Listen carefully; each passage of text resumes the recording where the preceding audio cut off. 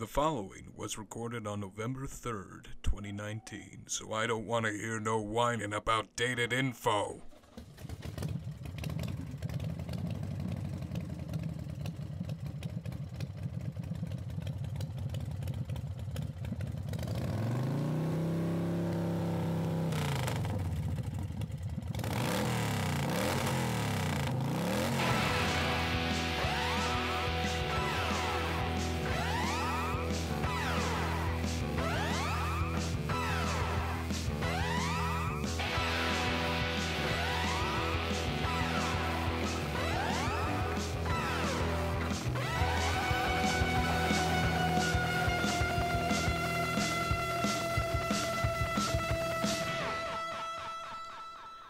Listen up, Clydes! You're listening to the Big Bad Bastich Book Klub, your premier podcast dedicated to the orniest bastich in the whole known verse, Lobo, the main man. I'm your host, to explain later, with a co-host today, You can call me Taylor. Ta- Taylor, just just Taylor, nothing like the Tay Man, the Tay, the Tay Tays, or Uh, T-Bone. T-Bone. What is this? A 90s rap video? Uh, but uh, welcome to a new podcast from the uh, To Explain Later podcast something like that. I was ex- I don't I don't know what else to do for the intro. It's all good. Uh, but this is a comic book based podcast. We're going to talk about some Lobo comics today. Uh, give you give sort of like a review, a rundown. But first, let's do a little bit of a get to know get to know you thing. So, uh, Taylor Taylor T Bone, how about Yeah. you start? How did you first get into comics? Well, thinking back to when I like read my first comic, I had a couple of friends in high school, and they had been reading comics. Like their dads had a bunch of comic books at their place, and so I just went over to one of their houses, and uh, yeah, I seen he had like the whole first series of Ghost Rider, and he had like a whole bunch of Fantastic Fours and like these like little five cent books and just kind of all kinds of stuff. So like the only exposure I had before was video games and cartoons, and so just seeing that there's more to it, I think, is like what got me really interested. So just borrowing their books, starting to read into some of the characters, and then uh, like just meeting more people like around that time. That's like when uh, like Iron Man first came out, and so that's like the the beginning of this MCU that we see, Yeah, and uh, yeah. cool. So it was really like discovering that there was something more to all these characters that you've seen in video games and television that really got you into the comics. That's Yeah. really cool. Now, how about when it comes to the main man? What was your first intro to Lobo? My first intro to Lobo was actually like I I didn't know about Lobo until I seen him on uh, Injustice, On Injustice. the video game. Really, So, for you, his first appearance was the Injustice appearance. for me, yeah. Uh-huh. wow, that is Yeah. bonkers. I got some crazy news for you. Uh, the one thing that made me really hyped for Lobo and Injustice was the fact that there have been several video game projects featuring Lobo that were canceled back in the 90s. And we'll talk more about Lobo getting canceled Yeah. later. But one of them was a Lobo fighting game. Mm-hmm. So for me, the fact that Lobo wasn't the first character that they considered putting into Injustice was like an insult because a Lobo fighting game has been trying to get off the ground mm-hmm. for decades. Yeah. And uh, for him to finally show up in a fighting game, that was just awesome for hmm. me as a Lobo fan. But for me, to explain later, getting into comics, uh, I was always interested in superheroes as a kid. Like you, I grew up with all the superhero TV shows of the early 2000s and the 90s, like Batman the Animated Series and the Justice League cartoon show and the Spider Man animated series and uh, the Tobey Maguire Spider-Man films were a big thing for me because it was the first thing that really made these comic book characters tangible to me, uh, more so than Batman Returns, which was something that I grew up watching before Spider-Man. It always felt like a little goofy for me. Uh, but I guess it could also be that I, I couldn't connect with Batman as a character growing up, but also I didn't think too hard about it at the time because I was very little. It was just like, what is this creepy movie that I can't help but watch? Uh, but yeah, like stuff like Batman Returns and Spider Man and the 2000 Spider Man movies really got me into superheroes. But what got me into comics was uh, my Uncle Ben noticed that I was drawing all these superheroes and he actually like showed me his comic collection and gave me a bunch of his books. So when he bestowed these comics upon you, did he say the famous With, great power comes great Uh-huh. responsibility. No, no, he did not. that would have been that would have been funny though.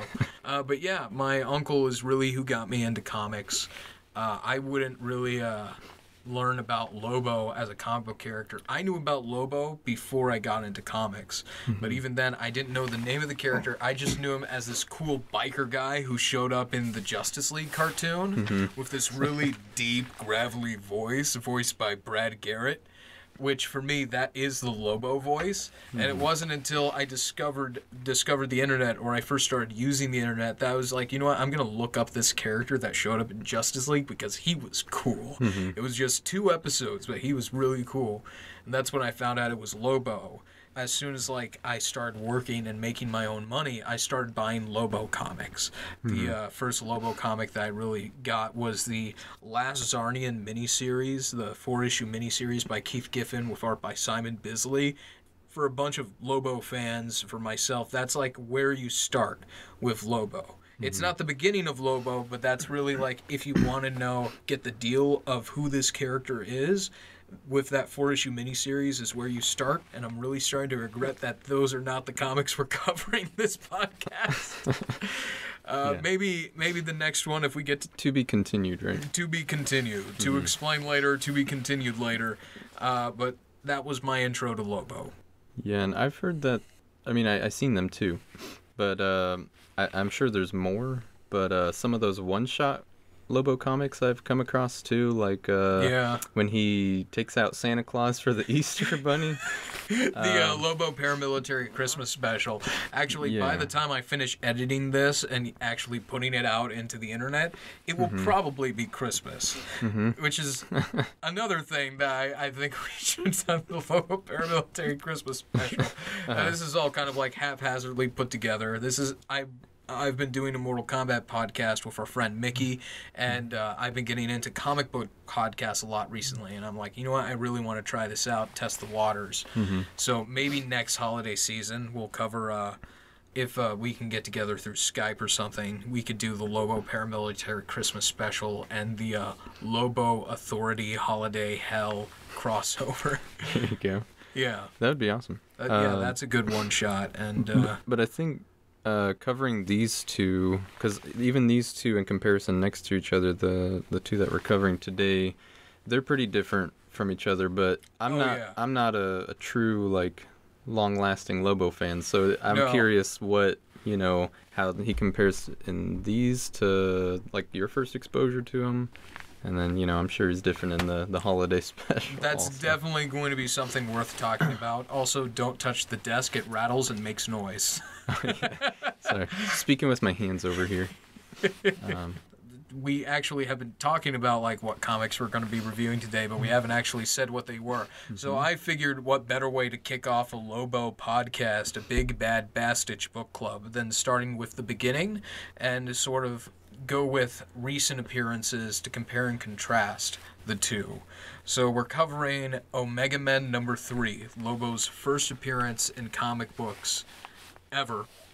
Then we're going to be doing a review of Justice League of America, the 2017 annual from Steve Orlando, from his run of uh, the Justice League of America comic, which is pretty interesting. For me, I thought it was a good one shot uh, as a Lobo story, but we'll get into more of those thoughts later. For now, we got to do a Lobo news rundown. You must be thinking to yourself, Taylor, hmm there's Lobo news? Is there? Yep. Yeah. Yeah. There is. I pretty much have you. I, also, to sort of like go back to what you were saying about how you're not like a long-lasting Lobo fan. You're one of Yeah. the few friends that I have that I Uh-huh. can just talk to with on hours of hours about comic books. So that's why I have you on. And which is great because I have a working understanding of a lot of characters, and Lobo is one that I'm really interested in, just haven't gotten to yet. So just lay it on me because you know it's I not all gonna stick, but you know I'm interested. I will lay it on hot and heavy Good. as a frag on a Friday. anyway, to the Lobos news rundown. So the first bit of news is kind of some sad news, but the uh, Krypton got canceled before they could go into season three, and part of that included the sci-fi spin-off they were going to do starring Emmett J. Scanlan as Lobo, the Lobo spin-off show. Although there has been rumors from the letter that the main producer of the show distributed about the show being canceled and his final thoughts on the show and his response to Emmett J. Scanlan uh, tweeting about how he just started to w- get really beefed up for the Lobo show because he felt bad about being so under muscled on Krypton season two. And uh, his main response was that, like, the Lobo show might not be as dead as we think. So hopefully something comes out of that. If not, it's a real shame that yet another project featuring Lobo got canceled the fighting game, the action game, the movie that was going to be directed by Guy Ritchie, and now the sci fi TV show, which is a real shame because I thought Emmett J. Scanlan did a pretty good job for that version of Lobo that they were going for. Also in the news, uh, Lobo had appeared in appeared in Young Justice season 3 on the DC Universe app. He had one heavy appearance in one episode, and then uh, he also had some minor appearances here and there, specifically his thumb. And then it all culminated in this post credit scene where a mini Lobo is grown out of his thumb, and then Lobo stomps it to death Oh wow. and just walks off. A Storm collectible was also announced, and it's available for pre-order of Lobo based off his appearance in Injustice. So that's something to look forward to. One thing I do like from the Storm collectible figure is that the face model that they went to isn't actually based off the Injustice game. It looks closer to Lobo's appearance on the covers for Lobo Unbound and the Simon Bisley art Lobo that's just awesome for me. This is more uh, Lobo comic book figure than it is a Lobo video game figure. So I'm really looking forward to that. The only thing that's missing for it for me is a space hog. I really wish we got a Storm collectible Space Hog, but that would make for like a $200 figure. And Yeah. last but not least, there is a possible reference to Lobo. I'm not sure if it's for sure, but I thought it was cool that uh, on a variant cover for an upcoming Cosmic Ghost Rider miniseries that they're doing, they have Cosmic Ghost Rider back facing towards the uh, the reader and he's wearing a leather ja- a leather vest that has a back patch on it, very reminiscent of the Lobo's back cover with the art by Simon Bisley with that famous "Bite Me fanboy" patch on the back. And as far as where you can find Lobo in your comics today, he is going to be heavily featured in the Tales of the Dark Multiverse Blackest Night coming up in about two weeks. Oh yeah, this is recorded on November 3rd. I probably should have led with that. Uh, but yeah, he should be appearing in uh, Tales of the Dark Multiverse Blackest Night, featured very heavily along with a split personality Sinestro that has both the powers of a white and black lantern, a dove from Hawk and Dove, and Mr. Miracle. So I'm really looking forward to that. It's going to have art by Kyle Hotz and it's written by Tim Seeley, who did one of my favorite miniseries of the past year, uh, Injustice versus Masters of the Universe, because it's just like he really plays around with having the two hybrid and meet. And Lobo should be appearing in Teen Titans issue 36. Uh, if you are looking to catch up with Lobo on the Teen Titans, I highly recommend picking up Teen Titans issue 25, 31, 32, maybe 33 and 34 if you really want to bridge that gap between 32 and 35. But that's about all you really need to read to get a sense as to Lobo's role in this Teen Titans comic because we learned that he has a daughter named Crush who's been featured prominently as a member of the Teen Titans, and we're going to see it all come to a head once again in Teen Titans issue 36. So that's Lobo's new Lobo news. Anything you want to add, Taylor?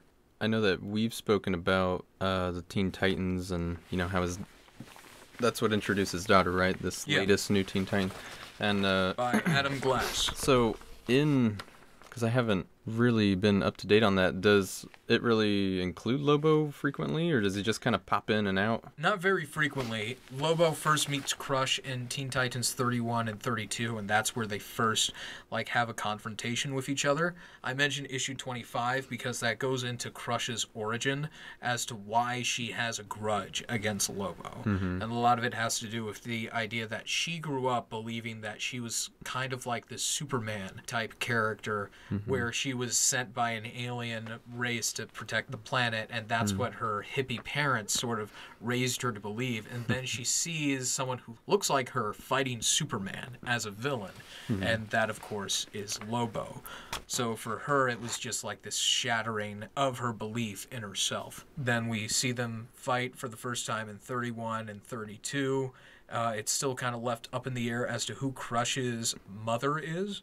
Uh, I have my own theories about that, but if we ever get to the point where we cover more on Crush, uh, I'll get into that later. I, I'll just say this I hope it's not Harley Quinn, because Harley Quinn has way too much going on. I gotta clear this because uh, how do you say it? Cesarnian? Czarnian. Just Czarnian. Czarnian, Okay. Czarnia. So we got another Czarnian. We have another Czarnian running around. Okay. Unless this is something that connects into Rebels back before Rebirth and New 52, uh, where we find out Czarnians were starting to be cloned from DNA that's just been left all over the place. Uh, but that's a whole other thing for another podcast and for me to actually read those comics. That's our news. On to the comic reviews. We're starting off with Omega Men number three. This is all just very awkwardly flowing together. I have to say. Uh huh. So who are these Omega Men? So I'll tell you who the Omega Men are because I'm sure many of you don't know. It was a comic team that was created by Marv Wolfman, and uh, their series was written by Roger Slifer, one of the co-creators of Lobo, and Keith Giffen, along with uh, Mike DeCarlo, did a lot of the art for the books. But as for a brief intro to the Omega Men, they're a group of freedom integral of. Sorry, let me re- let me read back that a brief intro into the Omega Men. A group of intergalactic freedom fighters led by Primus and his wife Callista, the Queen of Euphorix, together with Tigorr, Demonia, Broot, and many other members from various species and planets that have been oppressed by the Citadel. They fight to free the Vega system. That is, if they can stop fighting amongst themselves. As for where Omega Men issue 3, Lobo's first appearance, picks up, we open on Euphorix, the last free planet of the Vega system, and home of Omega Man Callista. The supreme leader of the Citadel has been trying to bomb Euphorix to break through its impenetrable planet wide force field. After yet another embarrassing failed attempt, the leader is visited by a peculiar space traveling human, Harry Hokum, who offers the Citadel a plan. Cut to the former Citadel outpost on planet Slag, now base of operations for the Omega Men. Primus and Tigorr are off world to enlist the help of Broot's people on Shangri-Lin, leaving Callista to watch over the base. A Citadel transmission is received, announcing the invasion of Euphorix has begun. Images of Euphorixian cities inflamed are broadcasted, believing that if she acts now, the invasion can be stopped. She enlists the help of any Omega Man willing and able to join her on the mothership and save Euphorix. With Primus off world and many believing Tigorr to be better suited as leader, Callista can only get the, the lanky, cowardly Schlagen the mutated blue feathered sister of Demonia Harpis, and a handful of others loyal to Primus and Callista to join her on this expedition. Schlagen voices his concern that this could be a Citadel trap. Callista, on the other hand, is confident that the images that she saw of Euphorix's attack cannot be faked, and orders Harpis to light speed warp into Euphorix, despite Harpis warning her that rematerializing into debris could be dangerous. They take the risk and rematerialize into an asteroid near Euphorix. Almost all the ship's systems are wrecked, all but the ship's basic life support system. Callista was able to protect her crew using her powers as a sorceress, and a grateful Schlagen is sent to inspect the damage to the ship's hull. Schlagen, donning a spacesuit, exits the protective field of the ship and finds a grotesque fleshy sack Dun dun dun. lodged into the ship's hull. Afraid of staying out of the ship for too long, Schlagen chooses to examine the sack inside the ship. He finds it warm to the touch, and with a poke, it begins to bleed, startling Schlagen out into open space once more. Meanwhile, back on Slag, Primus and Tigorr return with, with no new recruits, and two less Omega Men, Broot and Nimbus. Primus notices Callista's absence, and Tigorr mocks, not blaming her for leaving. Back on the mothership, Callista's crew managed to get the monitors up and running, but Schlagen's absence has not gone unnoticed. The lights flicker, but the monitor shows the generators are working fine. Callista gets Humbeck, exiled Citadel political cartoonist, to go check the engine room. When the disgruntled Humbeck arrives, he finds the room has been infested with graflings, flying manta ray like creatures that feed on energy. They were incubating in the sack Schlagen brought onto the ship, and now eat their way through the hull to feast on the power cords of the ship. Shooing his way through the engine room, Humbeck finds Schlagen, just barely in the ship's protective field. He calls on him to help, but can't move. Something, or someone has him as a pair of purple hands force Schlagen out of his suit, and a voice from beyond the field asks, Is this yours? The frightened Humbeck watches as three figures step through the field Bedlam, a space cowboy holding a robot named Berserk, the last, clad in purple and orange, clutching a still breathing Schlagen in his hand, is the main man we'll come to know as Lobo. As a thank you to the one man greeting party, Lobo flicks Humbeck's funny looking nose. The cartilage goes back into his brain, and his brain just goes back. Humbeck has drawn his last cartoon. Schlagen begs for his life as Lobo orders Berserk to kill him if he moves, and tells Bedlam to rendezvous on the bridge.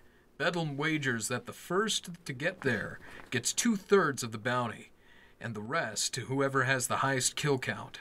The Graflings get to the main power line, and the lights go out, leaving Lobo in the dark with red eyes and a grin. Callista and Harpis on the bridge are alerted of the power outage and make attempts to reach security and warn the other nameless Omega Men on board. The warning falls on dead ears as Bedlam has already taken out four of the crew. Lobo gets one. Harpis, unable to contact anyone on the starboard corridor, recognizes that whatever is on the ship is making its way to her and Callista. She makes her call and flies out to face whatever threat it is head on, despite Callista's ordering otherwise, leaving the Queen of Euphorix seemingly alone. And a voice comes from behind her. Psst. Hey, babe. Wanna dance? Lobo says from behind. Harpis catches up with Bedlam. In a failed attempt to lunge out at him, she can only grasp his hat, which Bedlam rigged to detonate, blowing up her hands. Not satisfied with wounded prey, Bedlam decides to tear off her wings as a souvenir. Callista appears to be faring better against Lobo, trapping him in her magic aura that is growing stronger and brighter as Lobo taunts her, until the energy and light given off by her powers acts as a beacon, summoning all the Graflings on board to feast off her. Surrounded and weakened, Callista is eventually smothered and trapped beneath the Graflings, just as Lobo planned. Bedlam arrives to the bridge too late. Lobo has already has their quarry. He may be good, but he just wasn't the best. True to his word, Schlagen didn't move and is left as a survivor of the assault. Lobo and Bedlam collect their bounty from a Citadel ship, where everything has gone to Harry Hokum's plan. The Citadel just had to pick the right hunters. Pleased with the results, the Citadel's supreme leader enlists Hokum as an advisor and leaves Callista's interrogation to him. Callista awakes in a strange cell, alone, and there she is greeted by a projection of Harry Hokum. The invasion of Euphorix was all a ploy to get either her or Primus in the Citadel's hands. Euphorix is fine, its force field intact. The images Callista saw from the broadcast were constructed from stolen memories of a native. Memories stolen using a Grishagurt, a grotesque tendrilled beast that many thought extinct. It feasts and absorbs the powers and features and mind of its prey, and to learn Euphorix's secrets, one is led into Callista's cell. The ensuing battle breaks the hull of the Citadel ship, with Callista and the Grishigurt atop the Euphorix force field. Well, once its tendrils get to Callista, the battle is over, and we're left with the haunting image of a distorted, drained Callista atop the planet she swore to protect. And that is Omega Men no- number three. So, what did you think about the comic, Taylor? This was the first time that you've read an Omega Men comic, just Yeah. period. This is also the first Omega Men comic I ever read. Not the first time I've read this issue. Yeah. What What are your thoughts on this issue?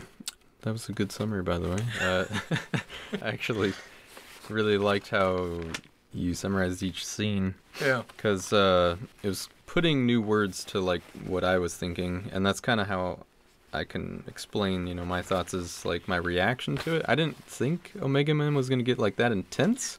yeah, that Um, intense, that quick. it it really got intense really quickly. Um, yeah.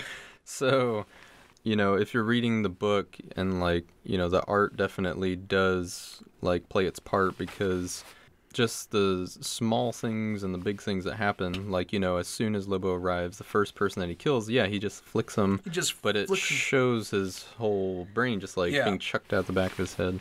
And And, they, they kind of had to play fast and loose with it because, of course, the Comics Mm-hmm. Code Authority was active at this time. So they couldn't, like, literally show brains getting flying down. Mm-hmm. Yeah. But the captions play their part as well. But you just see the use of, like, the swoosh effect. And it sort of, like, goes into this weird Kirby crackle red. And it, you get the point as Uh-huh. Yeah. to what's going on. yeah. And that's something that I love about the art in this book. There's Mm-hmm. all these little details, and they really know how to play around in the medium. Mm-hmm. Uh, one of my favorite little bits is that there's actually something with Schlagen when he's uh, telling Callista uh, it could be a trap on Euphorix.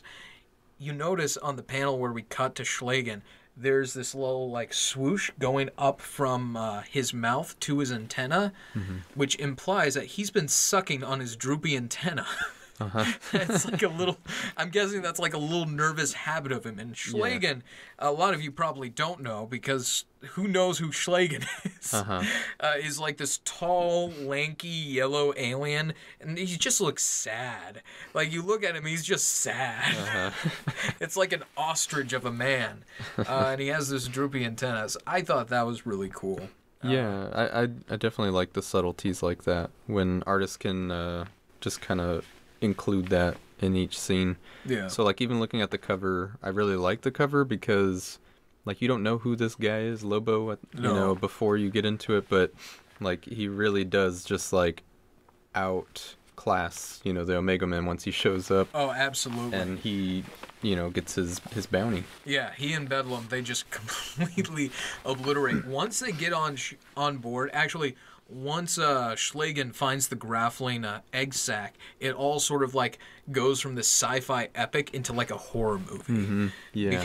because it's like this impending thing coming after him, and Bedlam and Lobo are treated almost like this force, this inevitable thing that's going to get them. Uh, it's it's really good, and I, I love I love the art, just the random sci-fi stuff in the background. Things look computery, and the use of lighting.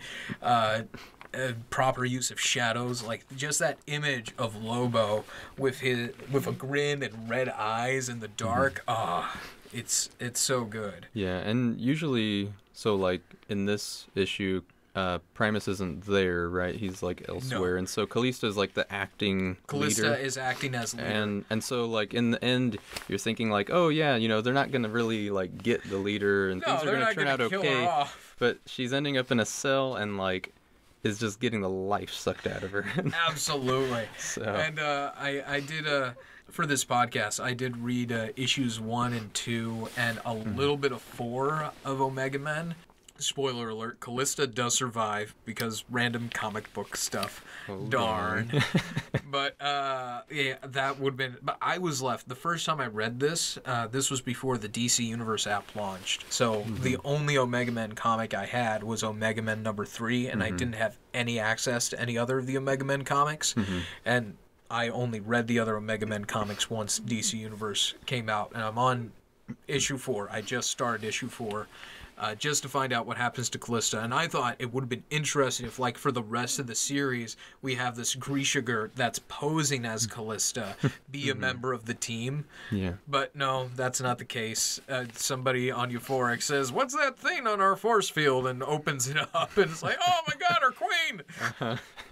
Yeah, and so they rescue Callista. like we talked a little bit before the podcast, right? And I think this is one that really so issue number three really does stand alone really well. Oh yeah, and because does. you know I hadn't read one or two or four, I just jumped in and it, you know, it builds its own context, but Mm-hmm. it does make me want to know what happens after because yeah, I didn't know it was gonna be that intense, but like it has a lot going on, a lot of moving parts Mhm. to the story, and so uh, it made me yeah want to read more Omega Men. there are a lot of moving parts to this, and something that I Mm-hmm. really love about it uh, is sort of like the same thing that I think makes a lot of the original Star Wars movies really good is that you just Mm-hmm. get these like weird, unique looking alien creatures, and they don't explain them at all. They're just there, and it Mm-hmm. Just adds this sort of life to the world. Mm-hmm. Uh, especially because the Omega Men is supposed to be this group that's composed of all these different races that have been conquered by the Citadel.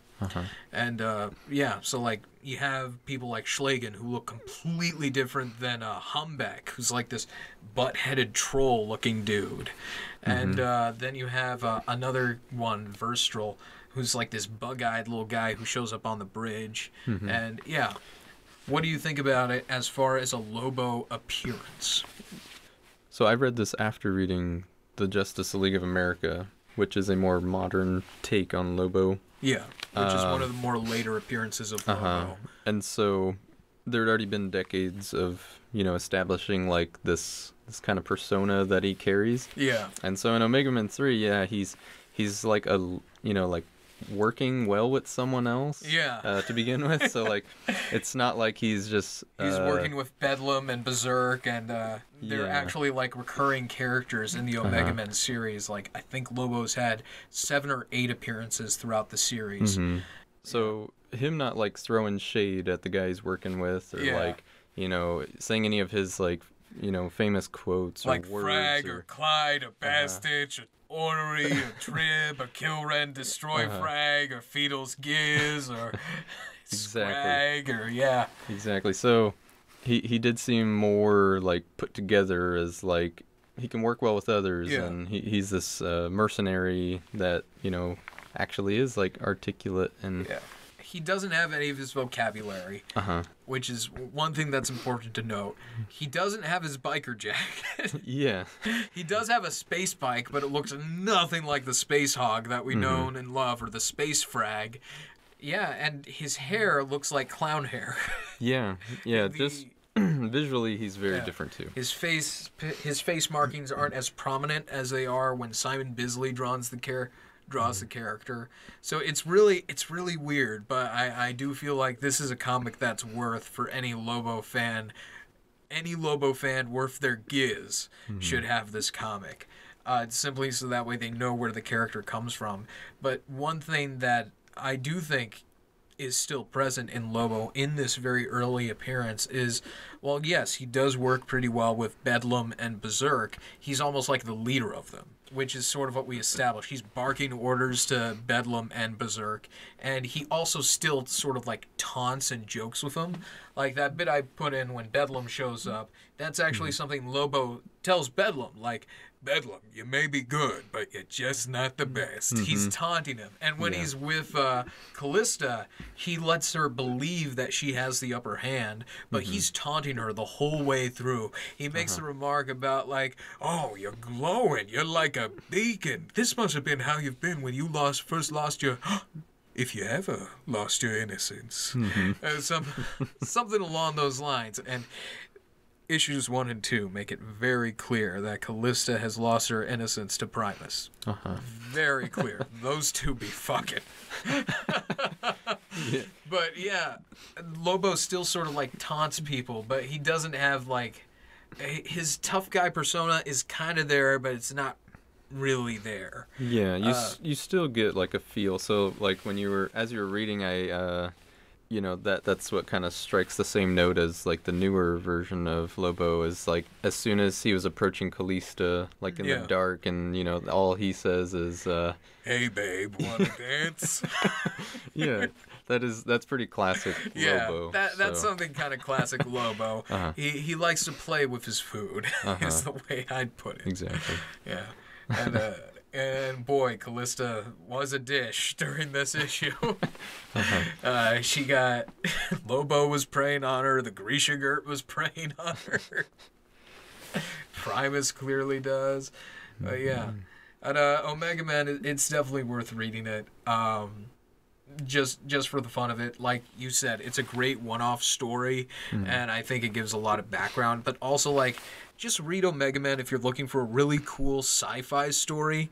Uh, a lot of people kind of compare it to like DC's Guardians of the Galaxy. I I can kind of see that, but I I don't know why. But like some of the other Guardians of the Galaxy books, especially after the movie came out, they don't quite click with me as well as this does, because it's just so weird and unique and cool and. Yeah, and mm-hmm. like there's these little things everywhere. Like there's these little starfish creatures that you see Oh, yeah. talking to Schlagen and that mm-hmm. are in a pod. Those are actually like these symbiotic creatures that the Omega Men use to go onto other planets because they sort of adapt the person that's wearing them to the atmosphere that they're in. And the only thing that they ask in return is that they get to see the world. That's why uh, they get to see the galaxy and the solar system. That's why they were begging Schlagen, like, no, take me, take me, take but me. Schlagen was too cowardly even to bring Yeah. little guys Schlagen is like, I, I prefer a spacesuit. I don't want something clinging on to me. yeah yeah. But uh, Schlagen, that that's a character I kind of hope that they bring back into some of the other DC stuff. Like, it'd be cool just to have Schlagen as, I don't know, like a Lobo side character, like as an informant or something. And the only reason he's an informant is because every time Lobo's around him, he pisses his pants. give him give him he's a so purpose. scared. He's like, I, I don't know what you love, what you want from me. uh-huh give him some some purpose Give him some purpose. Like I, I, I, I think Schlagen should come back. Where is Schlagen Rebirth? For exactly the yeah. Schlagen one one uh-huh. shot. Mm-hmm. But yeah, uh, that's Omega Man issue three. I think it's a good, not even like a good intro to Lobo. I just think it's a good story on itself. Maybe not the best Lobo appearance, but definitely a mm-hmm. cool one for Yeah. any hardcore, hardcore Franken bastages out there. That is Omega Man number three. And the mm-hmm. second comic that we're covering it, sort of like the format that I'm thinking about for these comic reviews is that we cover one classic appearance and one modern appearance. So our modern appearance for this podcast is Justice League of America Annual 2017 number one something or other electric boogaloo uh, written by steve orlando with art by kelley jones so uh, go ahead and give your summary So yeah, this is a like a one shot also. So this is a story where Lobo recruits the other adult, as he discovers later the only other bastich of the league, uh, Black Canary. And uh, not being too fond of the idea of joining forces, Black Canary asks Lobo to recount exactly what he plans to do and why. He explains that he heard word about someone so evil he's referring to them as the worst of the worst. Uh, for this is someone that is killing his beloved space dolphins, aka fishies. So Black Canary doesn't believe him and what his motives are, but ends up being the only person to ever see a side of Lobo she didn't think existed a soft side. this issue has some really good humor, and I personally thought the way they used flashbacks was u- used really well. Uh, it just went right into the story. You discover some new things about Lobo, and although Lobo and Black Canary might initially seem like quite an unlikely pair, um, they both are pretty hard-headed individuals. They they pull off the mission of taking down this bastich in a pretty badass way. And this issue shows that Lobo really does have feelings, at least for dolphins. And then also, you can't really forget that in this issue we find out that there is another remaining Czarnian. Zardian. Gusano Tribb, hmm And so goes Ooh. into that a bit. who did not exist pre uh, pre rebirth. uh, so, what were your overall feelings on the comic Um, as as sort of like a Lobo newbie? yeah, and so this was the first one I've read at least uh, in a long time of any Lobo, and uh, Other so than that one page on Superman. uh-huh, I, I gotta point out the art, I guess first. You know, it, it's it's a Lobo focused comic, yeah. and so even though it's Justice League of America. Like looking at the cover, like it looked a little wonky to me at first. Like they're very like bulky. That's Kelley Jones Um, art in uh-huh. a nutshell. Just very wonky. Yeah, and so at first I was like, I don't, I don't know, like what this is really gonna entail. but I think like as you go through the comic, it definitely does like serve its purpose. I'm really into the really cosmic esque stuff in comics, and so like I thought the artist did an awesome job making like the space dolphin homeworld because I Oh, don't, yeah, I don't know if it's been shown before. Like this is the first Not time it's that I know right? of. I think this is the first appearance of Del Marz- Marzopa. Yeah, and so it, it really did have like this magical feel, and like that's really what you get from Lobo is that these are magical creatures. These are magical, pure creatures. and I also didn't uh like understand his connection with the space dolphins because I knew about it before, but Yeah. uh, apparently, like according to this comic, he did like ex- exposure to them as when he was a kid. When he was a kid on Yeah. Czarnia, right. it was like the first thing that looked at him without judgment in its eyes. Yeah, that's that's what I mean by like the the flashbacks worked really well with it because like in that same flashback, it's talking about his teacher Mrs. Tribb, ends was- up tying in with like what happened after that and before this comic where like he blows up the the Czarnians. yeah. Well, there's a little bit more to Uh-huh. the destruction of Czarnia than just blowing it up.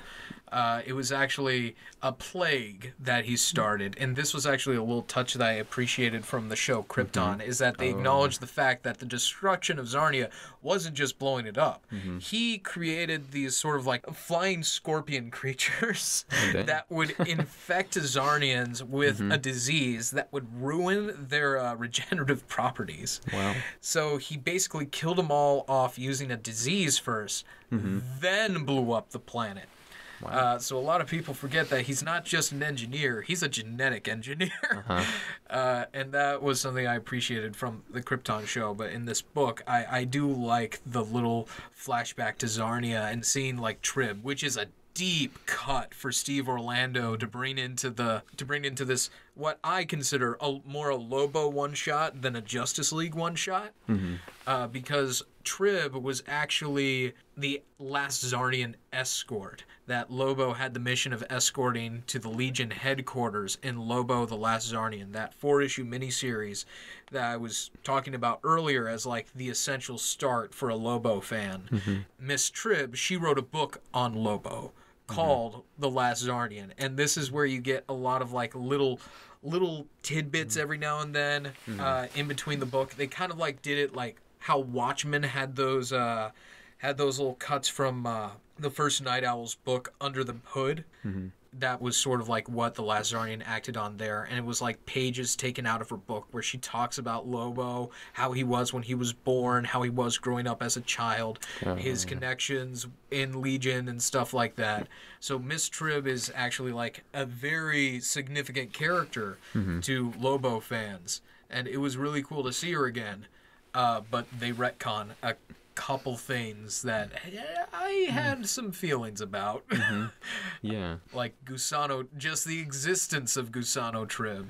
And uh-huh. I agree with you on is that Kelley Jones' art in this book, I love it when they do all the sci-fi the sci-fi background stuff. Like when they're traveling on hyperspace speed on the space frag mm-hmm. as they call Lobo Space Hog. And I love the look of Del Marzopa and stuff like that. The one thing I don't like about the art on occasions with when they look at Lobo's face, mm-hmm. the way they do his mustache. Yeah. It's kind of mm-hmm. like gappy and it's not it looks like a five o'clock shadow sometimes. Whereas the mustache is sort of supposed to be like a mm-hmm. permanent fixture on his face. Like it's part of his And face markings. I know it was kind of just to emphasize like emotion that they're you know experiencing when they're interacting, but it did Yeah. seem like inconsistent also with it, the, it- the facial. it does seem very inconsistent. It's very. Uh-huh. I do like Kelley Jones' artwork for exaggerated features, but mm-hmm. I, I sometimes you need to make them look a little consistent. Mm-hmm. And uh, Lobo's eyes, they fill in, they do the whole black stuff around the eyes, but they don't do the little hooks on the side. Mm-hmm. Uh, which which kind of irked me as a Lobo fan, which is weird that a Lobo fan gets irked. Yeah. But uh, still, I, I still think it's a very solid book. That that was the one thing about it. But it does also tie in a lot of stuff from uh, Justice League of America and Lobo's appearance since Rebirth, because it explains why Lobo was on Earth in the first place during mm-hmm. the events of uh, Justice League versus Suicide Squad. Mm. He received a, a space dolphin distress signal that led him to Amanda Waller, which led to mm-hmm. him joining Amanda Waller's Suicide Squad. Then eventually Lobo was freed, and then he joins the Justice League of America for Justice League of America Rebirth. Mm-hmm. And this is the second time in comics Lobo has joined the Justice League, the third time overall that he's been a part of the Justice League. So he's working with Black Canary in this issue, and I didn't. I also don't know too much about Black Canary. Yeah. So, uh, how do you think like how she was portrayed in this mat like bodes with? I think she's portrayed very well because the thing I like Black Canary as a biker chick. Mm-hmm. That that's sort of why I, I like it when she's drawn with a short leather jacket and when she has the fishnets on and stuff like that. So the mm-hmm. Justice League of America Black Canary is right up my alley. Mm-hmm. Because I do agree she's probably the only other Bastich on the team. She's like a no hold bars, just mm-hmm. like sort of a tough girl. I do kind of like uh kind of like Black Canary's portrayal in this, especially like the way how she how she responds to Buck Taz shit, where she actually recognizes, uh-huh. Oh, so you're just it's a screw job. You're screwing someone over. yeah, that's exactly what she said. Uh, it's really interesting. But yeah, this uh, comic actually gives us a bit of a look into other Czarnians and Czarnian culture, and this is kind of a retcon where Czarnians in this book are depicted just as crazy as Lobo. Like Gusano Tribb actually uses some of Lobo's vocabulary, like frag, and when he gets exposed to the canary cry, he says, Mother Bastich! Which that is a voice I I think fits Gusano Tribb. yeah. Uh, he should be like a pompous ass. Uh, Yeah, and like you said, uh, more to add to their culture. What was the ritual or the tradition Buck that Taz shit. Buck test shit? And I actually wrote down what it is that one Czarnian's responsibility and actions can be put upon another with or without consent. So if Lobo beats uh, Gusano Tribb, or if he uh, assigns someone to fight Gusano Tribb for him, if that person loses that fight, they become responsible for all of Lobo's actions. If uh, they beat Gusano Tribb, Gusano Tribb becomes responsible for all of Lobo's actions. Which Black Canary beats Gusano Tribbs with Lobo's and the Space Dolphins' help. Where Gusano Tribb becomes, since he is a Czarnian and he can regenerate, he becomes like an endless source of food for the Space Dolphins for centuries to come. I thought that was really interesting, actually. Yeah, that, that was really cool and really gruesome. Uh huh. But uh, yeah, the use of Black Canary is very interesting because uh, Steve Orlando kind of establishes in his Justice League of America run that Czarnians are weak to the Canary Cry because the sonic sound messes with their regenerative properties, which is part of why Lobo recruits uh, Black Canary, even though he had no way of knowing that the billowy dewlap Gusano Tribb was going to be who they had to fight against. But yeah, that that's one thing that did bug me were the retcons of Czarnians being just as crazy as Lobo, because uh, part of Lobo's origin originally was that he was outcasted from Czarnia because he wasn't peaceful, because he was insane. And he was like, you know what, enough of this shit. I'm just gonna kill all of you. and that's what he did. I thought those were kind of like needless retcons. But I guess Legion doesn't exist in this iteration of the DC universe, so there was no way for them to go, oh, Lobo delivers a trib to Vril Dox, who he was working for at the time, and that and then like once he was delivered safely into Vril's hands, that was the end of the contract, so that's when he killed Tribb. Mm-hmm. because he no longer had to honor the contract that was just fulfilled but I do like the way uh, Lobo is portrayed.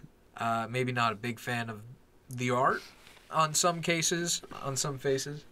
I do like that uh, Lobo frequents a bar called the Heavens Undercarriage, which for any eagle-eyed uh, readers out there, there's a hidden midnighter in the Heavens Undercarriage. So keep an eye out for that. Thinking back to when we were reviewing Omega Man 3, you mentioned that subtlety with Schlagen, right? Yeah, with Um. And as if like he had been sucking on his own antenna. Like uh, at some point during Justice League of America, um, when they're entering the the homeland of the space dolphins, you know, Lobo's distracted by the beauty. Yeah, And so they He's actually just looking around. they actually get shot down. Yeah. Right. And so like you know there's this wreckage with his bike, um, but on the way to the homeland, uh, Black Canary had to wear a space helmet. Yeah. And so on the very last page, um, you know, it says like dolphin saved or you know something Yeah. along those lines, and uh, it shows Black Canary got her helmet back on, to ready to go, but it has a patch. like, Yeah, on the It's like duct taped together. yeah, it's like duct taped together. And I just I thought that was funny that. because That is a good touch. it just brings it. That was something. Now that you mention it, uh, that that's something else that's interesting. Is that one thing I do I did appreciate about this book is that they do take a moment to talk about Lobo as an engineer.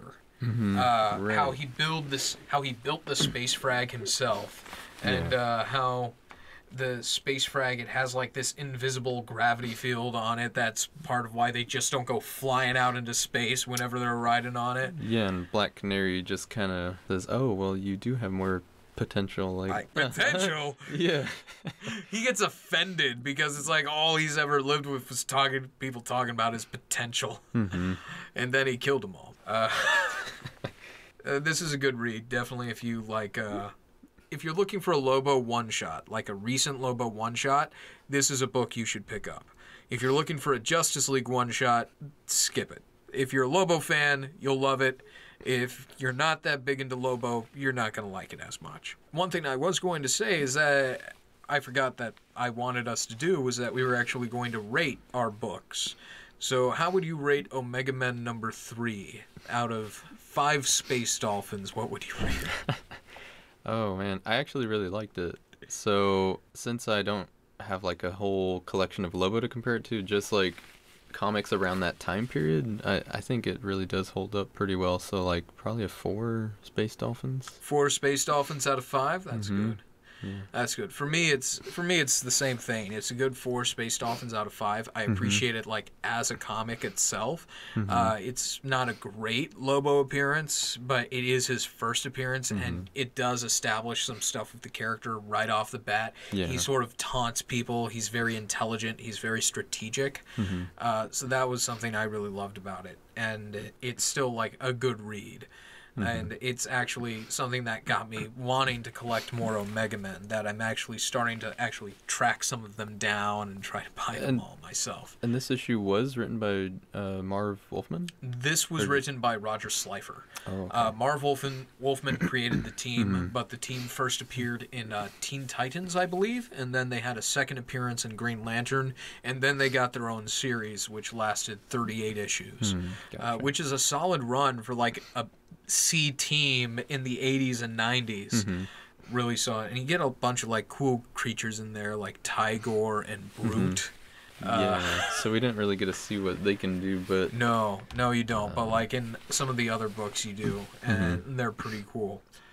Uh, but yeah, Omega Men, solid four space dolphins out of five. I still need to track down the rest of the physical books, but for now, I'll just read them on the DC Universe app because they're all there. And uh, Justice League Annual 2017. How many space dolphins out of five would you rate that? it was really entertaining to me. so like entertainment value was really high, but it wasn't like necessarily my kind of comic. Oh, But okay. I it definitely was like a page turner though. I still really enjoyed it. So yeah, like probably it definitely got you cracking up. Yeah, I liked both books, but uh, this one I think, like, I'm more of a traditionalist, I guess, with the writing. So this is probably like a 3.0, 3.0, 3.5 space. Why would you split a space dolphin in half? Well, They're the most precious thing in the universe. every every part of the dolphin is valuable, so half of it is still got some weight to it. Is it the top half or the bottom half? I have to know. Let's go with the bottom half.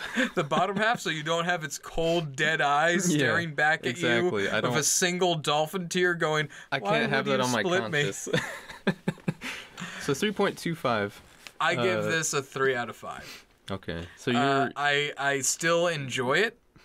I don't hate Mm-hmm. it, but I also don't. eh, You know what? No, four four out of five because it's still for me. Mm-hmm. This was like the book that got me going. You know what? I got to read the rest of Steve Orlando's Justice League of America because this guy gets it. and doesn't uh, Orlando usually do like horror?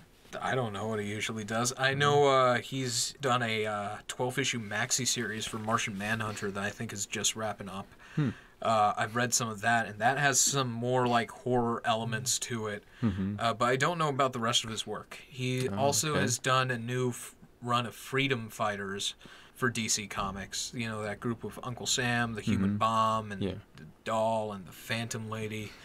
Uh, Yeah. but yeah, this is a this is a four out of five because this was the one that got me wanting to pick up more Justice League of America. I have the whole microverse, uh, assault on the microverse or invasion of the micro, whatever the microverse thing was, and I have the one that they brought in Prometheus, and it's kind of okay. I when Lobo isn't there, it's boring to me because I'm really just reading it for Lobo. He has a presence. He does have a presence He in it. does. He's the asshole big brother of the group, and that's that's exactly what I think he should be on a Justice League team. But shout out to the the DC app. I really liked how because I use it on my phone. I don't know if you use it on your phone. I do use it on my Um, phone. you can literally just It's just. really not available anywhere else. Oh, okay. But you just tap this, or you could zoom in, and then it goes frame by frame and Yeah. moves along as if like the speech is happening. Yeah. You know that order. It's really cool Um, so I really like the fluidity and like ease. of the DC Universe app. This was like your first time using it, right? Yeah.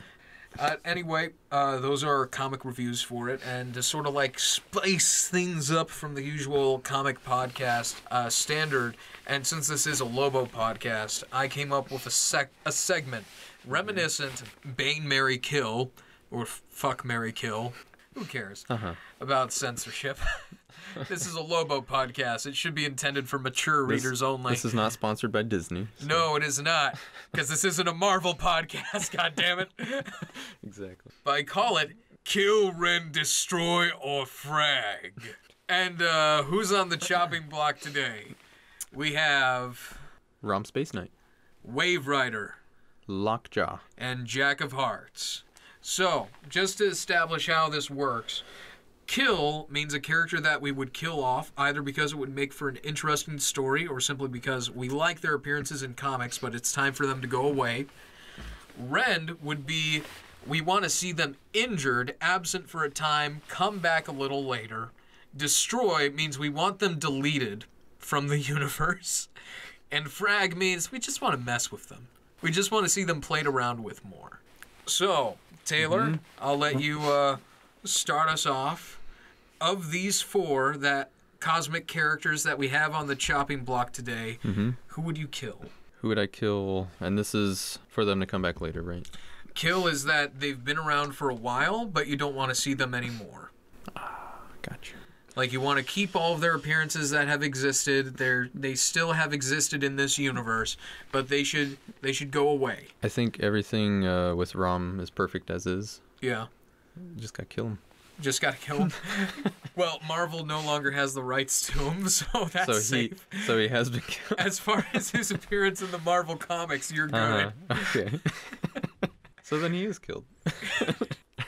Uh, but IDW has been doing comics with him, so if you want him to go away from IDW for now, Yeah, that, that's what I mean. Just put an end to, To the Rom- the continuation Rom of Rom. franchise. Yeah, Rom the Space. Hasbro doesn't even make ROM toys anymore. oh man. Who would you kill? I would kill. I would kill Lockjaw Poor Lock. Why poor Lockjaw? because I love Lockjaw. Don't get me wrong, Mm-hmm. but I think it would be really cool if we were to. They kind of did it in Death of the Inhumans, but Donny Cates was too much of a wuss to put Lockjaw to euthanize Lockjaw forever. So I see where you're going with this. I was that was my first thought. Yeah, Is kill Lockjaw. but Lockjaw, I think they should kill him off simply because uh, something that else that Donny Cates establishes in Death of the Inhumans is that uh, Lockjaw and Beta Ray Bill are gr- are good friends. They're very Uh-huh. close, good friends, and we saw a bit of Beta Ray's Bill's vengeance for Lockjaw and Death of the Inhumans. but now I kind of want to see what happens if we really kill Lockjaw. This see is- how bonkers Beta Ray Bill would get. This is true. Yeah. So So it's simply because I think it would be make for a great story if we kill off Lockjaw. But yeah, that's uh that's for me. Who would you rend? Someone that you want to sort of like injure, make them go away for a while, and then eventually bring them back. the mystery is kind of what got me into him in the first place, but I want to see more out of Jack of Hearts. You want to see more out of Jack. of So Hearts. I feel like he already kind of has been he like has been suspended killed for some off time. and suspended, and he hasn't been back. Since. Yeah. Because the latest appearance I seen of him was in Silver Surfer, I think. Silver Surfer, and which year of Silver Surfer? This was in the 80s. I believe Jack of Hearts was in a 2000s comic. I forget which Mhm. one. But he did get like a weird modern version of him, but they killed him off shortly later. Jack of Hearts just looks weird. I don't know how you can make it work. Yeah, and I think there would have to be an adaptation to his whole costume yeah. uh, because he does have this really like cheesy old school like look going for him. Yeah. You know, oh, his name's Jack of Hearts. Let's make him have a heart on his eye and look like it. He's on a damn playing card. Yeah. But you know, like I always felt like he was the hero's hero. hmm Um, like so in that issue that I was referring to, like in the Silver Surfer, this was when um, Tyrant he like captured Beta Ray Bill, Surfer, Jack of Hearts, you know, hard hitting dudes, and it was Jack of Hearts that you know like freedom. He like gave it everything he got. He was trying to sacrifice himself, but I think he lived in the end. But Yeah. he like you know, he's always trying to be the hero. Yeah. Like in his first um, limited, you know, four issue series, that's what he did was like plunge himself into the sun, right? hmm That's what happened. I, I don't. I, I don't know. I didn't read Jack of Hearts. Actually, uh, it's a little fuzzy for me, but yeah. Either way, he, he's he's always sacrificing himself for the people. I like people that are or characters that are truly trying to be a hero, like him especially, because he was like gonna kill himself, offed Mhm. himself off because he doesn't know how to handle or cope with like his power and all that. Then he, you know, found a purpose for himself. Yeah. Something else I probably should have led with this edition of Kill, Rend, Destroy, Frag is that the theme for these characters is cosmic. So these are all characters with cosmic powers or have appeared in cosmic books. Mm-hmm. So that's that's a good choice. Jack of Hearts, bring him back for a bit after a long absence. That would be good. I'm not sure if it'll be a triumphant return, but it, it could be an interesting return. I'd like to see how they try to modernize his costume, if they even do that. Just that would be interesting. Yeah. uh, they could try to make him look like the Impact Comics age of Blackjack or Jack of Blackjack. I think it was Blackjack. Uh, who would I rend? I would rend Rom Space Knight. I would injure him in one of his comics. I don't even know how the IDW run is going. I haven't read any of the IDW run. I don't know if they have the ability to use any of Rom's supporting cast from the Marvel comics. Just to be honest, I am low key a little bit of a Rom Space Knight fan, uh, simply because it's one of those weird comics that just existed for some reason. And it was still like very interesting and very sci-fi. It's a little bit like how Omega Men is. It's like sci-fi in some of the best ways. Yeah, and some big time characters pop in and out in Oh ROM. yeah, a lot of big time Uh, characters. There's like- actually a huge, huge fight that involved like the Marvel characters Mm-hmm. and the X Men, the Avengers, the X Men, the Fantastic Four. All of them like helped Rom fight off the Dire Wraiths. Uh, it's it's insane. Mm-hmm. Yeah, but yeah. Galactus is, makes appearances. Yep, and- Galactus makes appearances. Rom was made like a huge part of the Marvel cosmic landscape. Uh, so much so that like Marvel had to do something with the Space Knights, so they started a limited team called the Space Knights. Uh, but they couldn't make reference to Rom other than like a statue that appears in the background. But yeah, Rom Space Knight. I don't know how the IDW series is going, but I don't even know if it's ongoing. But I would like to see it if they were to put him away for a bit and take like another character from Rom's supporting cast, I forget exactly what her name was, but she was like the yellow space knight. Uh, kind of looks like Arya from Killer Instinct. She would eventually like sort of turn dark, but I think if they were to do that dark turn, if they haven't done that dark turn yet, I really should have read some ROM IDW before I started talking and opening my fat mouth. But here we go. but I would like to see it if she were to sort of take over the series from ROM for a bit, sort of help build up her fan base. Once Rom comes back, that's when the turn happens, and that's where we start to see her go down this dark path, and that's when it becomes like almost this tragedy. So I think that would be interesting. Give Rom a little time to breathe, and then bring him back triumphantly. Why don't you just take on uh, writing for this? I don't know how to write comics. I just know how to read them. Now's the time to start. Yeah, I guess so. Now, now is the time to start. Anyway, who would you destroy, Taylor? Who would you just delete from the universe? Just get rid of them. Um, make, make it so that way they never existed. Well, so we were talking about just comics before this Yeah. started, and uh, I didn't.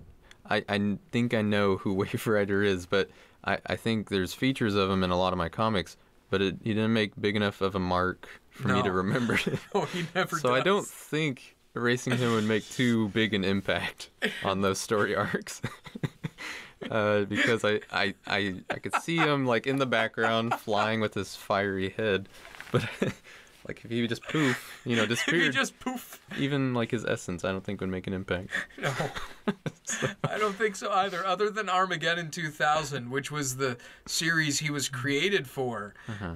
I don't think he would make such a big impact. The Yeah. reason I'm laughing so much about this is because he's also my pick to destroy. Oh, well, great. for very similar reasons. That Yeah. like there's already like five or seven other time traveling characters in the DC landscape. You don't need Waverider. At least you don't need Waverider as he exists in the DC comics as a time traveler. Mm-hmm. A version of Waverider could exist. They did something kind of interesting where Waverider is like an alternate version of Booster Gold. And I hmm. thought that was kind of cool for mm-hmm. like a one shot story or like a what if. But most people know Waverider from Legends of Tomorrow, not as a character, but as the name of a ship. it is the uh-huh. Waverider. And Yeah. I always thought what would be an interesting arc is instead of having Waverider as a as like a different superhero or character, uh, the AI on the Waverider of Legends of Tomorrow gets a physical form, Uh-huh. and that becomes the Waverider superhero. Yeah. But you don't need. I don't think the Waverider that exists in DC Universe needs to exist. Mm-hmm. It's time traveling Silver Surfer. Yeah. That's about it. If there's a hardcore Waverider fan that's like, "What the hell, man?"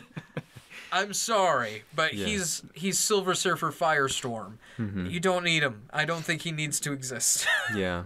In fact, like any of the pre-existing time travel characters could have done what he did in Armageddon, where he comes back in time to stop like the Monarch from existing, who turns out to be Hank Hall, even though it was originally planned to be Captain Atom, and that's a whole thing in itself. Which Yeah, which we have another character like Captain Atom that exists. we do. Uh, He's kind of like Doctor Manhattan, Captain Atom is a little different than Doctor Manhattan. is he? He became more Doctor Manhattan-y in uh, New Fifty Two, but for me, the pinnacle Captain Atom is sort of like the Justice League International Captain Atom or the uh, Justice League Unlimited Captain Atom, where he's a good soldier that happens to work with the Justice League, Oh, okay. uh, where he's a soldier first and a superhero 2nd Mm-hmm. Anyway, we, we're, we were talking about Waverider, not Captain Atom. Waverider doesn't need to exist. Destroy him. Introduce a Waverider ship, but don't have Waverider the character, and then maybe turn Gideon into a Waverider, uh, a female Waverider. That'd be that'd be pretty cool and oddly oddly attractive. and then it could That- be Crush's mother. That w- that would be a little more unique. yeah, it would be. It'd be different. It'd be different. So, who would you like to frag? Someone you would like to mess with? That's a good question. Um, gonna go with Lockjaw. I mean, I think I would use Lockjaw to Yeah. frag other people. to frag other people. So you would play around with Lockjaw. Yeah, he has the ability to to teleport Uh huh. like great lengths, right? You want to see him things. around more. Yeah, like he he has a lot to him. I think hmm that could be used. Uh, yeah, like in a in, in a humorous way, In a humorous or way. or in a serious way. yeah. Uh, it could go either way. But uh, he, he's a good boy. You know?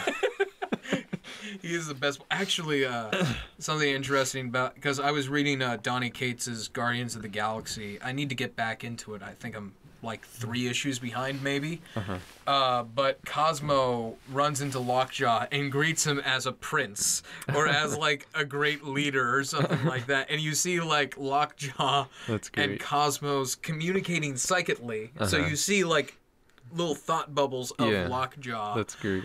and uh, it looks like they're just playing with each other on the Yeah. book, but it's actually like Your Royal Highness, and uh, down, my servant. Uh-huh. be continue to be a good boy. Yeah. Uh, but Lockjaw, I can see being a character that should be played around with. But like I said, I kind of want to see him killed off mm-hmm. and play around with the way characters respond to his death. Uh-huh. Because what's sadder than killing a dog? Or as you say, put down or euthanized. Dog. uh-huh. So you'd play around with Lockjaw, have him appear in more stories and give him more Uh-huh. appearances. Maybe have him, maybe have him, uh, give him a blockbuster MCU. movie. Why not? I mean, like Yeah. we got we got Airbud and I mean, the rest of the Inhumans don't need a movie. Just give us a Lockjaw movie. well, I feel like the Inhumans had their chance. That didn't include Lockjaw, and Imagine how.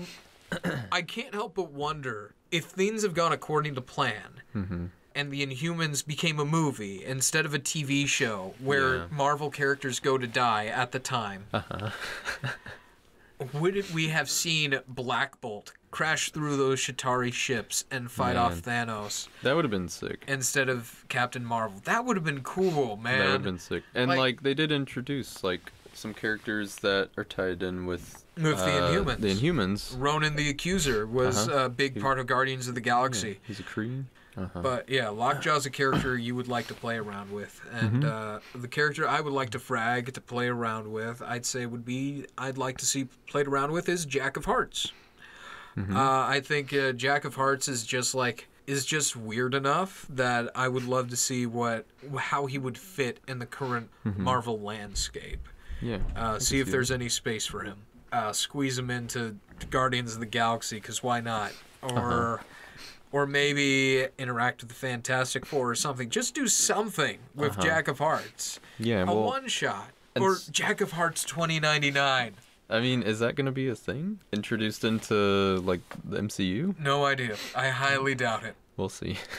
But uh, I don't know. I, I was thinking because like how he got his powers and like you know the the movies changed some of the origin bet- behind some of the characters. So like uh, Jack of Hearts is a product of Earth, also just like Adam Warlock. Even Yeah. though in the movies it's not hinting that way. But um, you know maybe he could just be created somehow by some other group of people. Some other group of people, what if they make him an inhuman? Yeah, and then Or a mutant? they, they could adapt. Yeah, his whole character. Yeah, something. And I mean, maybe he'll keep that same that same costume. Who knows? What if, mm-hmm. instead of introducing Jack of Hearts, they introduce Wonder Man, and Wonder Man, who starts off as an actor before he becomes Wonder Man, is playing Jack of Hearts in mm-hmm. what the MCU equivalent of a superhero movie would be in that universe. now we're getting somewhere.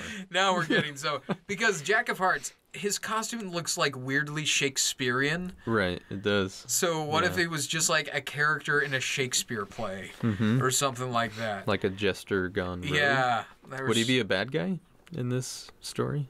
Why not? Just do something with Jack of Hearts. Anti-hero? I ran out of characters, so Jack of Hearts, frag him. All right. Well, good. Uh, and uh, now we'll move on to a section where I like to call Baddest Bastich, where we talk about a character and their chances against Lobo. And uh, I really just sort of came up with this because Taylor is a big fan of this character, Mm-hmm. and I just really wanted to give him an opportunity to just go nuts and talk about Moon Knight.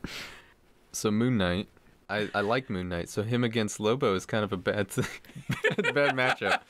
Uh, in my opinion, uh, he would get stomped. It's a horrible matchup. he would get stomped pretty hard by Lobo. yeah. Um, but I mean, he he can get creative, you know, in a similar way that Batman could, I think, using I guess. technology. But I don't think it's gonna cut it in any scenario. No, no, he's Um, not. Because Lobo has regenerator regenerative factor. He has, you know, just like way more power. Uh, If anything, I, I don't think Moon Knight and Lobo would get along, but I Mm-hmm. could see Jake Lockley and Lobo getting along.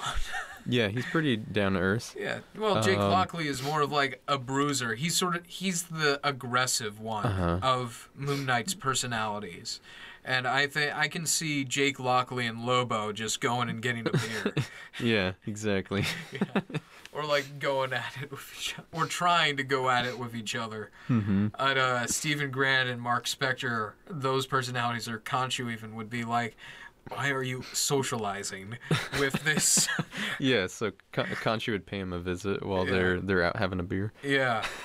It's like, Jake, what are you doing? I'm socializing here. Get off my case, Khonshu. Uh-huh. Can't I just have a buddy that's an alien Czarnian bounty hunter or something? We just gotta go get drunk. It's a China. But maybe Lobo could confirm if Khonshu's real or not. Uh, maybe. I, I don't think he can. He'll be like, Khonshu, what's a Khonshu? Yeah, what's a fragging Khonshu? What the frag's a Khonshu? Yeah, I mean, I, I don't know. I it'd be curious to see like those two on the same screen or on the same page as each On other because that's never happened. No, it Um, never happened, and I don't think it ever will. Yeah, not likely. Uh, but not likely, but I think it'd be cool. I, Mm-hmm. Of course, Moon Knight would get creamed. yeah, he- I mean, would. there's been some stretches with writing. So like, I've seen Moon Knight take Deadpool, Yeah. which is weird. I think. Well, the thing is that Deadpool is careless, and that's the only thing that I think Yeah. could work to Mark's uh, advantage is that Lobo could be a little careless. He could be a little prideful as well. Mm-hmm. So he could use Lobo's own hubris against him right. uh, to try to gain the upper hand. Yeah, but I think Lobo does always think one step ahead. Usually, as we saw in uh, Omega Men number three, he does plan ahead. Yeah. That's the whole purpose of the He- He knew they'd be attracted Uh-huh. to Callista's aura. Uh huh. Yeah. Right. Exactly. He always he always does his research ahead of time. Mm-hmm. That's why in this imaginary story of Lobo versus Moon Knight, Lobo would be on Earth for something else entirely than Moon Knight. Or maybe, dude, what if it was like werewolf aliens invading the planet and Lobo's hunting them down? Wow. So that And then that's where they lead to is Moon. yeah, and Moon Knight is Moon Knight doesn't recognize that there's a werewolf, sh- shape-shifting werewolf aliens on planet Earth, I like it. and he just knows that this guy Lobo is tearing through New York, and Daredevil isn't doing anything about it. Spider-Man isn't doing anything about it. So Moon Knight's like, oh, they must be out of town dealing with cosmic shit or whatever, because he never gets invited Uh-huh. uh, and then uh, Moon Knight's going after Lobo, and then eventually they team up to take care of this uh, shape-shifting werewolf alien threat. That would be good. Yeah, that that could be an interesting story. I think we got something. I think we got I'm gonna pitch this. we got a baddest Um, bastich bitch. Um, but yeah, or if they teamed up together, right? Like so, Moon Knight's teamed up with like Punisher, Yeah, and I don't want to say Punisher is like Lobo, but uh, Punisher's both more like solid as far as like being aggressive characters. Uh huh. Yeah, like a ruthless guy. ruthless. Uh huh. Except Lobo has a little bit more personality to him than my wife and child are dead and I'm a Vietnam vet that doesn't Mm-hmm. have a brain that works good. Da da da da da. Exactly. So maybe, like, if they teamed up, that could be Moon Knight's way doing that cosmic stuff, right? He- Yeah. Lobo could make him tag along. Yeah. Just hop on the the hog. Hop on, the, hop on the space hog, and they go to the werewolf base on the moon. Uh huh. yeah, even if it's a one shot, you know, Even if that it's a that shot. opens the the convo. The about this. greatest crossover you didn't know you needed. Oh, That'd be great, actually. Now I really want this. bring bring Moon Knight to the moon. Yeah, I'm I'm really Well, they've done it a couple times as as like stories that happen in uh, Moon Knight's head. Like that was part of the Jeff Lemire Yeah. run of Moon Knight. But yeah, that that'd be that'd be really cool actually. Lobo and Moon Knight Taggart. Yeah. But uh Lobo's clearly the baddest Bastich in this matchup. Yeah. It was kind of unfair. pretty clear. Yeah. Pretty pretty clear. Although Moon Knight has fought intergalactic Mm-hmm. threats before, especially in the Infinity War crossover Yeah. where he fights Moonshade, an evil doppelganger of himself. So Yeah. Moon Knight does have some experience in this field. He's faced off against yeah like Doom, Yeah. uh, Sentry like later, but Vengeance of Moon Knight, he faces Sentry. uh-huh. So maybe Moon Knight does have a chance here. Maybe he does. at least can survive it. Uh, for me, the part that will really determine it is whether or not he can take Conan the Barbarian in a fight in this upcoming Serpent War crossover. Yeah. Because for me, Conan's the man's man. Uh huh. Uh, if Moon Knight can take on Conan, or at least fight on his level, then I think he has a chance Yeah. against Lobo. Granted, Lobo has more powers than Conan the Barbarian. Uh huh. But I, I think there's Still earn that title of exactly bad bastard. of being a bad bastich. Uh-huh. One bad bastich. yeah, that's our show. Uh, let me know how we can improve because, God, just going through this and we're not gonna have a chance to like go back through any of this or anything like that because I gotta get going in about in thirty minutes or so, Mm-hmm. and you probably have to go back home and do yeah, something. do some research yeah. on on all these uh, topics we discussed. Yeah. But we wanted to leave the listeners with a open-ended question, right? Yes. Uh, who do you think is a badder Bastich, Lobo or Moon Knight? Uh, I'm gonna try to get a poll up on Twitter. I'll probably like add a little recording thing to the end of this as to where you can find us on Twitter and vote on a poll as to who's the baddest Bastich. But I am going to start up an email specifically so that way you guys can send suggestions on how to improve the show, uh, what type of layouts we should do, what should we keep, what should we drop, and also just like way for you to ask questions or different talking points, uh, so that way we could, or at least I could talk about Lobo with you guys, because Taylor, Taylor's a bit of a nobo on a lot of Lobo, but through the course of this podcast, I hope I can make him a convert uh, to the Church of the Three-Headed Fish God. Yeah, and I think the two readings you did assign, they they definitely like They're a good. Uh, they set a bar, you yeah, know, they and do uh, set a bar for the character. and before reading them, I already was pretty interested in Lobo. Yeah, Um, simply because I won't shut up about him.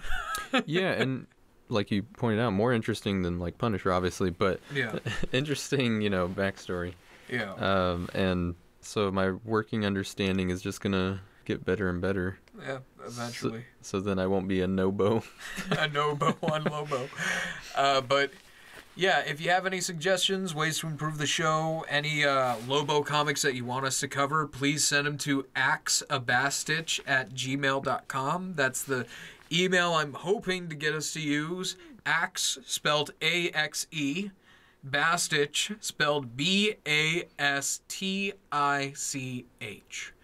And uh, one thing I will say about Emmett, Emmett J. Scanlan's performance as Krypton on an unrelated note, kind of related note, is that it is pronounced Bastich, not Bastich. He did get it by that last episode of Krypton season two, but still, uh, I, I cringed every time he said Bastich instead of Bastich.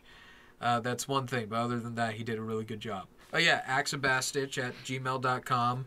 Uh, where can people find you, Taylor, if you want to be found? Well, my uh, comics only Instagram um, is always dot tilted. Okay. So that is uh, always spelt like normal. Dot T I L T D, Awesome. and that's my gram. That's your gram, man. Mm-hmm. And uh, he's always posting like additions to his comic book collection. He's a big Fantastic Four, Moon Knight, like old school Jack Kirby stuff. Mm-hmm. Definitely hit him up if you ever want to talk about that type of stuff. And uh, you can find me on Twitter at To Explain Later, and you can find me on YouTube. To explain later, Twitch with the same, and you can find me on Instagram with To Explain Later 95. For some reason, To Explain Later is banned on Instagram, but 95, just fine. and I am planning on getting a, a Twitter made specifically for this show where polls will go up. Uh, I will definitely add a little recording note at the end of this once I have that set up. But yeah, thank you for listening to the very first episode of the Big Bad Bastich Book Klub. I'm hoping for the next episode, which will be recorded much, much later and probably through Skype or Discord. If nobody sends in suggestions, we'll just cover Lobo's next appearance in Omega Men and uh, why not one of the new ones that are coming out, like Tales of the Dark Multiverse, Blackest Night, because I have a feeling that's going to be a really cool Lobo appearance. Maybe not a Lobo story, but a Lobo appearance. Or maybe we'll do the Last Czarnian miniseries. Mm-hmm. Like both of us just read through that and we give an overall summary of the miniseries instead of the individual issues. Mm-hmm. Maybe we'll just have it be a poll on the Twitter account as to which one of those we should do next. Yeah. Uh, but yeah, thank you for listening, and uh, I hope you have yourself a fragtastic day, you ornery bastages. Or Clydes. You're Clydes. You're not bastages. You're Clydes. thank you for listening. Oh, hey, to explain later again, you Clydes. Just checking back to give you some updated info on where you can contact and follow the show. For suggestions, queries, and ways to improve, please email axabastich at gmail.com. That is A-X-E dot A dot B-A-S-T-I-C-H at gmail.com. If you want to follow the show on Twitter to participate in polls and other ornery content, look for at Bastich Book Klub. That is B A S T I C H B O O K K L U B, or just search Big Bad Bastich Book Klub on Twitter. If you enjoyed the show and you want to see it grow, give it a positive rating, share the show with friends, and tell them to do the same. Who knows? With enough fragwits doing it, the suits at DC will get the message.